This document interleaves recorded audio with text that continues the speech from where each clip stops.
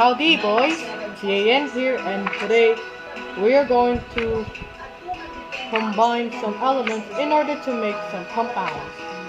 So, for basic facts, compounds means, means two or more atoms of a different time. They're no longer considered to be elements because they are formed by two elements. So, let's have an example.